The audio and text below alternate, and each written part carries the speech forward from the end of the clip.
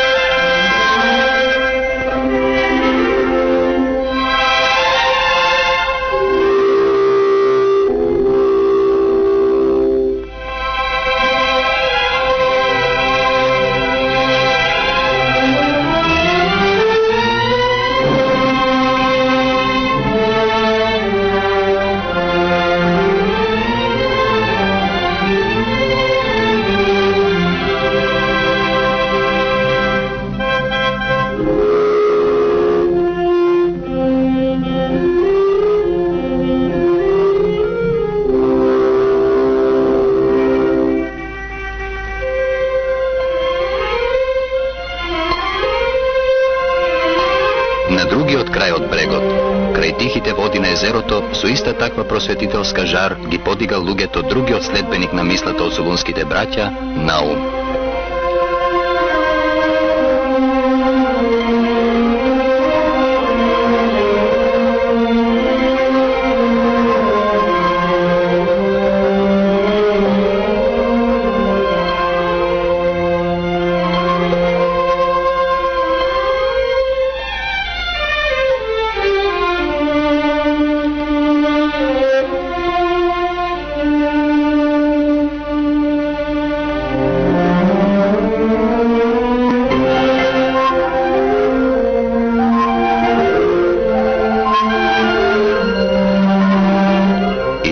Мисла, мислата за среќен живот на луѓето, проникнала и низ камените ѕидови на црквата Света Софија, ги разбила студените канони на црквата и внела дух на револуционерност.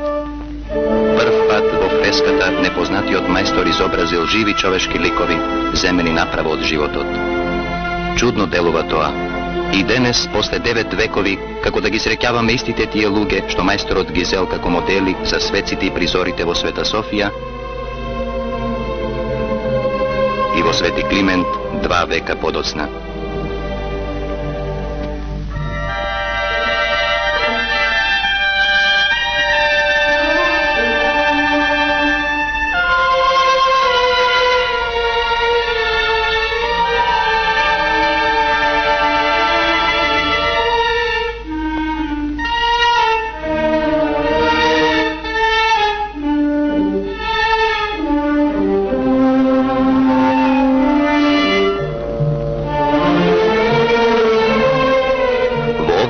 Овие веќе е содржана една човешка драма.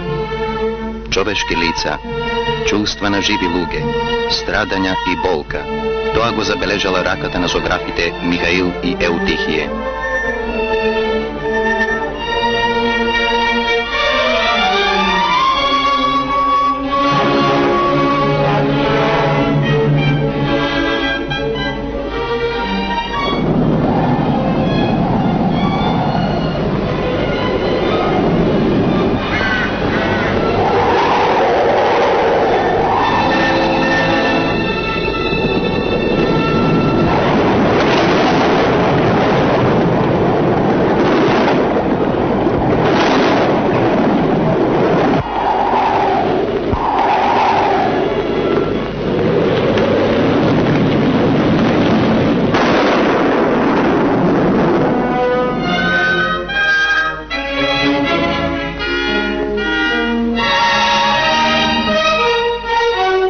Земната неволја ги смуртила ликовите на светците. Со ископани очи, тие се неми, слепи сведоци на тежината и раните, нанесени од туѓинец.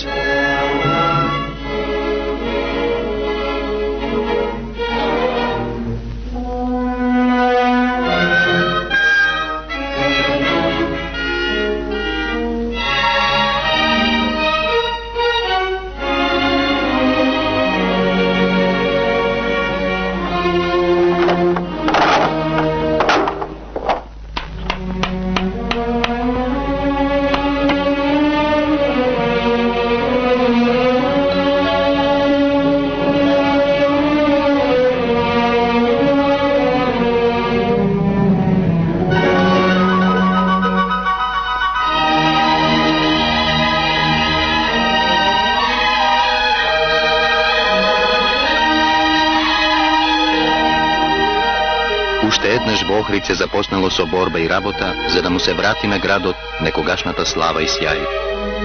Во 19. век тука се развиваат занаети. Охридјаните тргуваат со светот. И како плод на таа материјална благосостојба, никнува и прекрасната архитектура на охридските куќи.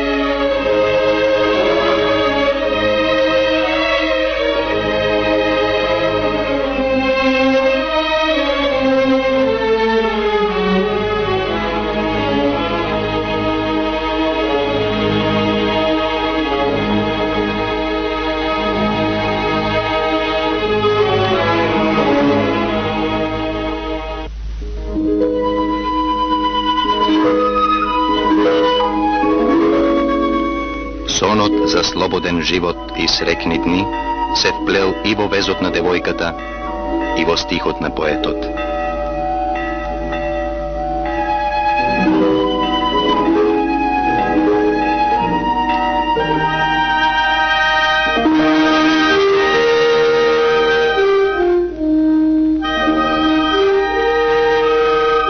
Се вратил тој, поетот Григор Прличев, овенчан со слава во туѓа земја, за да се бори за просвета и слобода на својот народ. Но во она безвремие неговиот глас останал нечуен и неразбран. Останале само неговиот стих и неговата вера дека и овде крај бреговите Охридски ќе дојдат дните на слободата.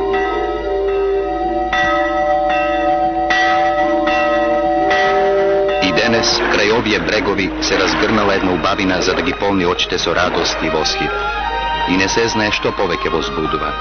Трагите на изминатите векови, вечната и неизменлива сина убавина, или брановите што шепотат час тажна, час победничка приказна, приказна за изминатите дни.